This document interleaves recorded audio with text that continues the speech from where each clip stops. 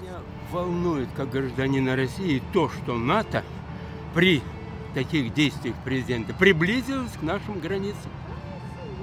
На тысячу километров увеличилась протяженность границ стран, вступивших в НАТО.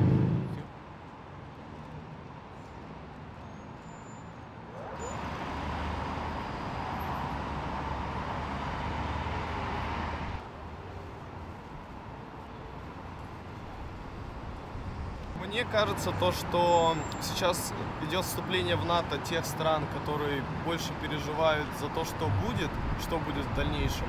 То есть, э, на мой взгляд, э, некоторые страны боятся какого-то исхода и стараются занять какую-то сторону, которую, на их взгляд, ну, можно сказать, победит.